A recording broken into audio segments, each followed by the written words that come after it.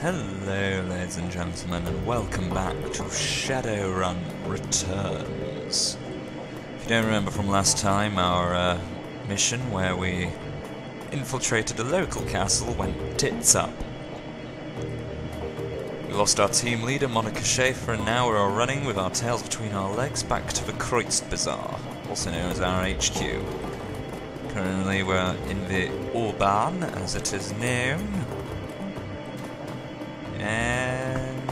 Supposed to be somewhere around here. Oh, here we go. You step inside and the squalor of the disused U-Bahn tunnel gives way to the warmth of your safe house. A man waits inside, silhouetted against the dim fluorescent lighting. Something bad has happened, hasn't it? He steps forward, revealing a pa pale and expressionless face, light glinting off steel-rimmed rimmed glasses. Paul Amsel, your team's fixer and landlord, part dealmaker, part information broker, one of the most well-connected men in Berlin. His eyes sweep across the team as it takes it as he takes it all in. The grim faces, the hard stares, Eiger's fury, Monica's absence. I had a feeling. How did she his face has gone ashen. He swallows, takes a moment to chew on the words before spitting them out. How did it happen?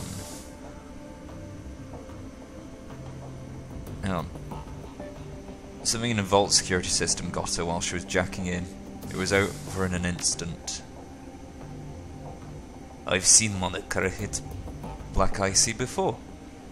This is something worse. Glory nods, her emotions robotic and spare. Monica died of biofeedback-induced stroke. That's right. Eiger thrusts a gloved finger into your chest. And this idiot stood by and let it happen.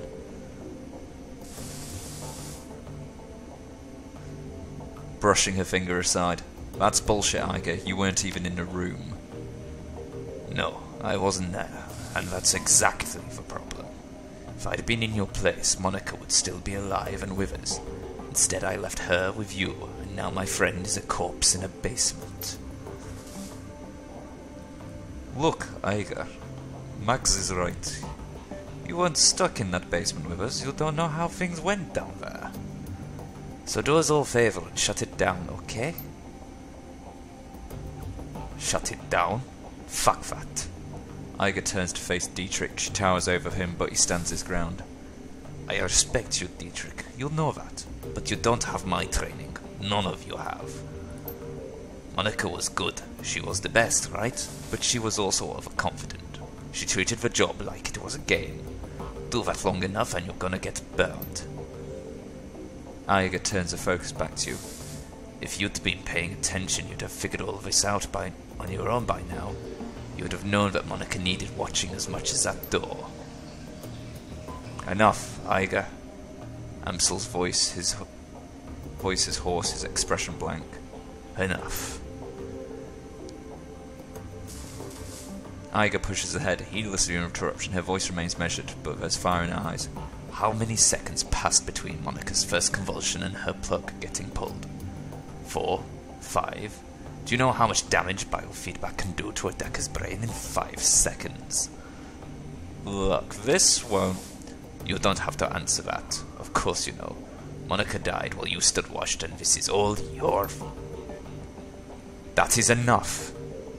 Amsel's voice comes out in a roar, and his fist smashes down on the desk behind him. Eiger, you and Mags can have it out later, but I have had enough. We need to talk action. Our client sent you into something much bigger than he led us to believe. I want to know why. Right with you. That was supposed to be a milk run. Payback isn't the only reason why we need to find him. We saw something down there, something we weren't supposed to see. It's fair to assume we're all in danger. He pauses and rubs his temples. Agreed, and to neutralize that danger we need to know exactly who we're dealing with. Let us review the events that transpired tonight. The smallest detail could be important, so hold nothing back. Okay. Um, the estate was just a front for what's going on in the basement. Amsel nods. That much is clear. It wasn't a minor enterprise either. The facility took serious funds to build. And time. There was more to what we saw. Places like that don't spring up overnight. And all in secret. The owners, whoever they may be, were none too pleased by your escape, I'm sure. What else do you find? After anything went to hell, we were confronted by Orc in military-grade armor. He appeared to be the head of security. That's not much to go on. Do you have any distinct details about this orc that come to mind? Any distinguishing features I could look into? He was an older guy, for one. From the sound of his voice and getting mid to late forties, pretty old for an orc. And he'd had skin grafts. Most of his face looked like replacement material. If the grafts came from a legitimate hospital, there may be medical records. That is something. I will see what I can find out. Do you note anything else during the run that might be of value? Monica lived long enough to say her name, Feuerschwinger. She fought hard to tell us. Must have been important. Amsel seems taken aback. He pauses for a moment before responding. The Firewing. This is unexpected. You'll have to forgive me. This brings back many unpleasant memories. Glory raises an eyebrow. The Firewing? The most terrible of the great dragons. There are those who would disagree, but they had never experienced the terror of living in her shadow. He glances at Glory. You're far too young to remember her, of course, but the Germans of my generation, the name Feuerschwinger is synonymous with chaos, destruction, and death. The dragons of today are subtle creatures, full of patience and guile. Feuerschwinger was not. After her awakening, she went on a four-month rampage that claimed tens of thousands of lives. Amsel takes a deep breath, slowly releases it. There is a haunted look in his eyes. Those were dark days. Countless men, women, and children were slaughtered, roasted alive in their home by a creature legend. No hopes for salvation and no end in sight. It was a horror that you cannot begin to understand. What stopped her? I can't imagine a rampaging Draken would go away on its own.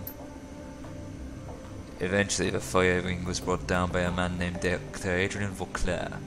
With the help of the Luftwaffe, of course, but it was an experimental weapon designed by Dr. Vauclair that pierced her hide. She fell in a hail of bullets and rocket fire and crashed down in the radioactive wasteland of the SOX. The event was called the Dragonfall. Safe at last from the dragon's wrath, Germany declared Vauclair as a hero, our own Siegfried, a modern-day dragon slayer. My own family practically worshipped the man. If the Dragonfall was so important event as you make it out to be, I'm surprised I've never heard of it. Those early years of the awakening were traumatic, Eiger. Not just on a national level, but on a global scale. New species of awakened animals were being discovered daily. Within two years of the Dragonfall, the active use of magic had returned to the world. A new source of terror for the bewildered public. 2021 gave a sudden emergence of orcs and trolls, gave rise to yet another wave of global panic. In light of such turmoil, is it surprise that Dr. Vauclair and Firewing were forgotten? Dragons were yesterday's news. He rubs his temples. Again, all of this happened decades ago. To the best of my knowledge, the story of Feuerschwinger is a bit of historic trivia and nothing more. Alright, so Monica spent her dying breath trying to tell us about a long-dead dragon. Eiger sweeps her eyes across the group, searching for a glimmer of insight. Finally, she gives up any ideas as to why. Amsel's voice trembles with frustration. No, it doesn't make any more sense to me than it does to you. The dragon is ancient history. Feuerschwinger has been dead and gone for 42 years. There is one thing I do know. Whatever Monica was trying to say, whatever she saw, it was important. He visibly struggles to calm himself, takes a deep breath and slowly releases it. I will look into this and I will find answers. In the meantime, Did you turn up anything else of value? That's all we got. That's not much. Amsel nods. His face is drawn and haggard. Tis thin, I agree. A basement, middle-aged orc with skin grafts, long-forgotten world event. Wait, we're missing something. Who paid for this run? Amsel looks pained. I do not know his exact identity. I did not set up the run. Monica did. His face reddens. I... I warned her. I told her not to take the job, but she assured me that it would be a cakewalk. Monica herself recently was approached recently by a man who called himself Green Winters. Used to be a prominent activist in the F state political scene. I never much liked the man, and I certainly never trusted him. But Monica, she would do anything for her cause, anything for the Flux state. He sighs. Winters swore that the data he was after was crucial to ensuring the future stability of the Flux. And that was all it took. Sounds like Green Winters is our best lead then. Yes, most definitely. It's clear that Green Winters has involved us in something much larger than he led Monica to believe. When he finds out what's happened on the run, he's gonna probably gonna rabbit. We need to chase him down before that happens. So we need information on Green Winters and we need it fast. There is a man here in the Kreutz Bazaar, a Turk named Altug Boratgatsi. He owns a little soykaf shop just down the road. Cafe Setzi. This man is a purveyor of information. I have done business with him from time to time. And you think he would know something about Green Winters? Amsel nods. When I discovered Monica's nude association with Green Winters, I contacted Altug. One of his people had been keeping tabs on Winters ever since. As I said, I did not trust the man. For good reason, it would seem. I'll talk to Altug and see what he knows about Green Winters. Very well. Tell him I sent you. I will do what I can to dig through the information that you have uncovered already, sparse as it may be. Alright. We need to go to a cafe, talk to a Turk. Uh, spending my karma, spending my karma. Probably need to upgrade decking as there's been a million effing challenges. Decking free, that should be alright. Would like to get up to four, nice even number. Uh, never mind. And then we have one karma left.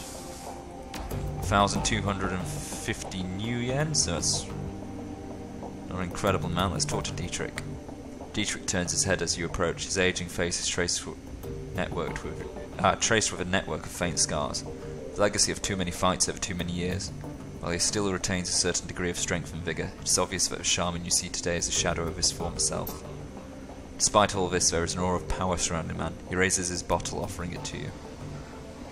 Mags, welcome. I've got a bottle of schnapps that needs to be sharing. And we've got a fallen comrade to drink to. Take the bottle. To Monica, Prost! The liquor in the bottle is crystal clear. As you raise it, you catch an intoxicating whiff of cloves and caramel.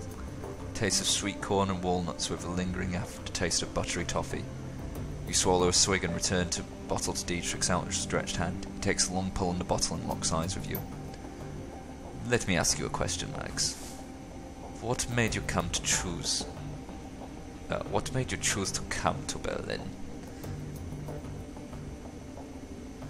Uh, I have my reasons. Sure as. Come on, boss. I'm trying to figure out who I'm working for here. I think I deserve to know that much. Well, we were the head of Telestrian security, so, um, Let's just say, I had to drop out of sight for a while. Sure enough, I think most of the team is here to hide from something. Not me, of course. Given the chance between hiding from something and punching it smack in the nose, you know which direction I tend to lean. But most of the others, yeah. Even I gets hiding out from something. Really? How do you know? Intuition. Got a nose for damaged people. Of course, I've been spending most of my life running and playing for folks who were damaged in one way or another, so that might have something to do with it. So things got heavy back in Europlex, and you decided to bail and head to Berlin. Am I getting that right?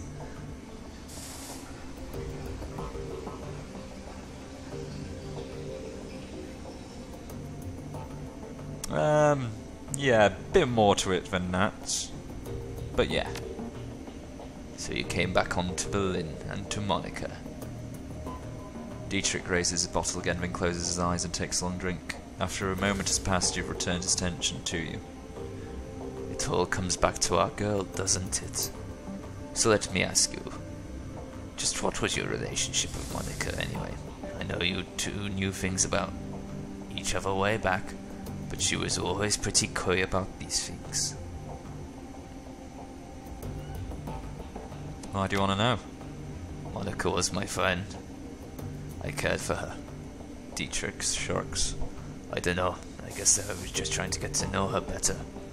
But some areas of her life that have always been a mystery, and if you could shed any light on them, I'd be appreciative.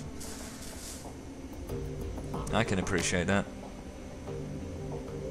So, what was the deal between you two? Don't leave me in suspense. We were very close. Dietrich nods. Figured as much. Not from anything you or Monica said. I just had a suspicion. Well, anyway, good on you both. Dietrich raises a bottle to you in a salute. She was a wonderful woman, and I hope your time together was happy. Anyway, I've taken enough of your time and the bottle's almost empty. Thanks for taking the time to talk. For what it's worth, I'm happy you are here with us. Dietrich takes a final pull on bottle, then tips it forward, pouring the rest on the ground. Rest in peace, Monica. We'll miss you, girl. I've got nothing more to say, boss. Let's just get this run taken care of. You can hit me up later if you want to talk. Oh, hello, boy. As you start forwards towards the safe house door, a large four-legged form steps around a corner. Dante, Monica's dog, an enormous mongrel of indeterminate breed. A low whimper emerges as he enters the room, head hanging low. No shit, Dante. Dietrich shakes his head. Don't worry, boy. We'll look after you. At the sight of Monica's dog, Amsel's eyes well up. He inhales but can't quite catch his breath. He started whimpering about an hour ago. Turned into a full-blown howl. Wouldn't stop, just kept... He closed his eyes. That's when I realized something bad had happened. Looking down to his huge brown eyes, you can see intelligence and sadness. He lets out a small whine and rubs his head against you. Oh, we'll give him a nice scratch behind the ears. He leans into you and looks up mournfully, pressing his ribs against your leg. I guess the dog is going with you, Max. Amsel takes a ragged breath and releases it. Then a slowly melancholy smile plays across his face. Well, perhaps part of Monica lives on in Dante. Return to the safe house when you finish with that Altug, mein Freund. With a little luck, you can help us locate Green Winters and we can get to the bottom of this. He stares at the floor. And now, I think we should all take a moment. His lips tighten. For Monica. Oh, sadness. A lot of conversation going on in this episode, ladies and gentlemen. Very sorry. Sure, well, well, unless you're enjoying my awful, awful fucking voice acting. Oh, we've got a doggy. Um, but yeah, let's uh, have a look around. What do we have? Just appears to be Glory there, staring into a bathroom mirror. There's Eiger. This is going to be fun. Eiger glares at you. You can taste bile in her stare. She clearly blames you for Monica's death. Something I can do for you, fearless leader.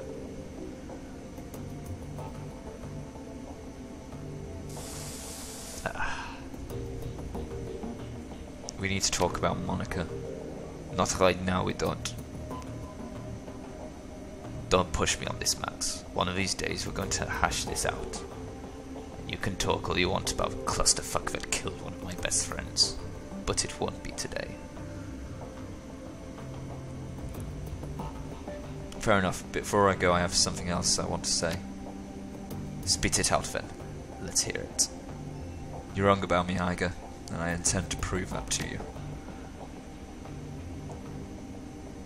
She stares at you for a moment, then looks away. Best of luck with that, Max. Now, please, leave me alone. Alright, this conversation isn't over. It is for now, fearless leader. She turns away. Do us both a favour. Take the hint and go away. Okay, let's see Glory. Glory is beautiful in a waifish sort of way. Her features are almost elvish in her delicacy. But there's something cold about her that you find slightly unsettling. What's more unsettling is her chrome. Glory is rocking a heavy load out of cyberware from head to toe. She is, looks to be composed more plastic and metal than she is of skin and bone. In the shadows, and individuals such as this are anything but uncommon, but Glory's cyberware is first generation, all of it. Bulky, invasive, practically museum pieces. This chrome was obsolete well before she was born. Mags. Glory shifts her gaze to you, but expression is as cool and placid as always. Can I help you? Hey, how are you holding up? Don't worry about me. I'm solid.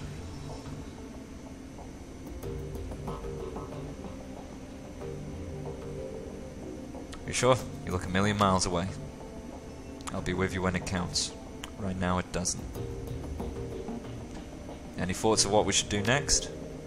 Find our missing client, extract some answers. Beyond that, take jobs, get paid. I have a question for you, Glory, of a personal kind. I'm not big on sharing sport. Personal reasons. You understand, I'm sure. The edge in her voice tells you she's not interested in continuous conversation. Now, of course, we all have our secrets, but if you ever want to talk, I'm here. Best not push that one, I think. Best not push Eiger either. Jesus, this has been like 22 minutes of me talking. Christ, my throat. Nur für Mitarbeiter. I, my German is extremely, extremely bad. Something for Mitarbeiter. I don't know. I'll ask my girlfriend. She's fucking fluent. Being all Stuttgartian, Teutonic and shit. There we go. Reine Neugier. Import shop. Oh, it's snowing. This is a nice break from Seattle. Who do we have here?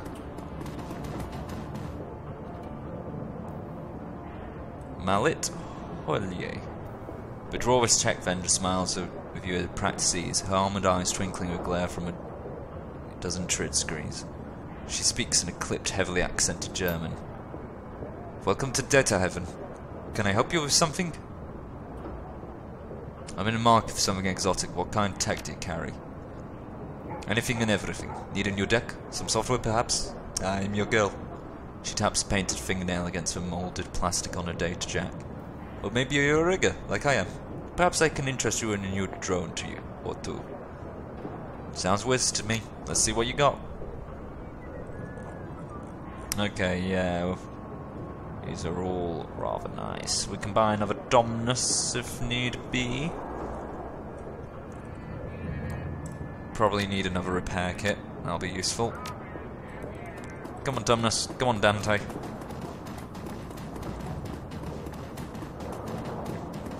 Cafe Sedzve. Hmm. I think I'll have an explore before I pop in. Who's he, David? A pair of round eyes peers up from you under the hood of a grime-smeared winter coat. You recognise him as David, one of Kreuzbusser's street kids. If you had to guess, you'd place him in his mid-teens, though it is difficult to tell beneath the grime and acne marring his face. You've seen him following Monica around between runs, chasing heels like a lost puppy. She always seemed to have a soft spot for the kid. Oh, hi Max. Have you seen Monica around? I've been looking all over for her. I'm afraid I've got some bad news for you, kid. The kid blinks, blank expression on her face. She's dead, isn't she? Sorry, kid. We all are. Yeah, uh, look, I, I want to be alone right now.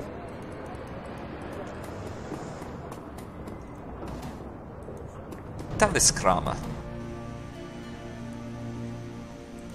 Oh, that, oh shit. Is that Algie? Please don't tell me he may recognize me. Something about a young elf behind the counter makes your breath catch in your chest. She's lovely to look at, but it's a strange kind of beauty. Her eyes are large and luminous and possibly green. She looks up at you, you can see that her irises are flecked with iridescent gold. Hello and welcome to Algernon's. Perhaps I can help you with something. As she smiles up at you, her eyes fix on yours. A curious feeling of weightlessness fills your chest. It feels as though you're floating in a warm, calm sea. A gentle current pulls pulls you closer to Absinthe, and the ten sensation is pleasant. As you drift, the golden specks in her eyes begin to move. Look deeper. The golden specks in the elf eye, elf's eyes shift and swirl, slowly picking up speed. It's mesmerizing. All at once the specks explode into light and colour. Absent eyes now fill your field of vision, and it feels as though you're drowning in an alien sea. The patterns are traced by the shimmering specks in her eyes, are kaleidoscopic, enchanting, nearly impossible to turn away from. Time to lose myself. You're lost. Your entire world has been reduced to a churning vortex of green and gold. Dimly, you become aware that something is happening. You feel your body being buffeted by unseen forces, and suddenly everything goes black. Oh fuck, I've been rehypnoled. Slowly and painfully you struggle your back, to consciousness. The shop's old owner Algernon is peering down at you. An expression of concern on his face. Algernon stands behind Absinthe stands behind him. Her expression is one of embarrassment. Welcome back, friend. Algernon extends a help, hand to help you to your feet. Absinthe shifts slightly to allow you to stand. What the hell happened? My fault. My apologies. Sometimes when I daydream, I bring others along for the ride. It was unintentional, yes. But there's no harm done, correct? You'll be fine. Uh, no harm done. If you'll excuse me, I'm going to go stand in the corner for a while, possibly to cry. Hey, Algy. Greetings, young elf. The elf's voice is smooth as silk, rich as clotted cream. Something about him instantly pulls you at ease. I am Algernon Halfdream, the owner of this establishment. In my shop you will only find finest and magical paraphernalia. Now tell me, how may I serve you? I have a question for me for you if you don't mind. You're in luck. I have a great many answers. What kind of magic do you practice? Shamanic? Hermetic? Personally, the true kind. But I sell the ta goods tailored to all traditions. In my shop, we do not discriminate. Now, is there anything else you'd like to know? What's your story? How long have you been in the Kreutz Bazaar? I have many stories. Stories of dancing spirits, raging dragons, of unchecked magic and swarming chaos. All of these stories are true. As for the Kreutz Bazaar, I have always been here, quietly peddling my wares. It is a simple life, but a good one. Now, is there anything else that you need to know? Um, so what's the deal with the funny-eyed assistants? Absinthe is a friend, nothing more. She helps out around the shop. When the fancy strikes her, she is nobody's assistant, and I am no one's master. Yeah, but her eyes? He pauses for a moment, considering. I believe they suit her personality. Now, is there anything else you'd like to know? Yeah, let me see your wares, Algy. Uh, none of this is for me. Probably should move away before Algy notices. Don't want him telling Telestrian Corp that we're currently hiding out in Berlin. Absinthe keeps her eyes hidden from view. Please excuse me. I have work to do. Oh dear, I think we offended her. Anyway, ladies and gentlemen, I do hope you enjoyed that. If you have seen my uh, previous playthrough of Shadowrun Returns, Deadman's Trigger, well, Deadman's Switch, sorry, uh, that was Algie. He was there before. We're kind of, I don't know, it's kind of my head canon. It's the same character, and we've just, from the end of last story, we moved from Seattle over to Berlin, where apparently we were discovered by Monika in the Ruhrplex, which is somewhere near the French border, I'm assuming, and oh, we're growing wheat on the roof. Very nice. And, uh, yeah. Anyway, I do hope you enjoyed that. Uh, send me a comment or a message or a like or dislike, whatever you so desire, and, uh, yeah, I'll catch you again. This is the Jabbering Magpie, signing off for now. Chatty bye.